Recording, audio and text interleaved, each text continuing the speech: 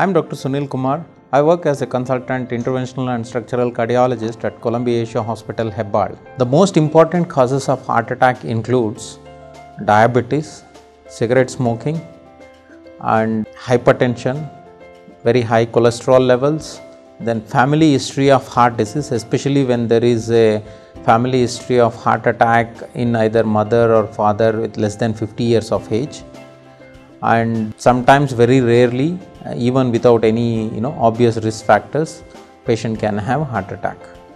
And uh, cigarette smoking is especially you know uh, it's a, one of the very high risk factors for heart attack especially in indian community where young individuals who smokes cigarettes you know do end up in heart attack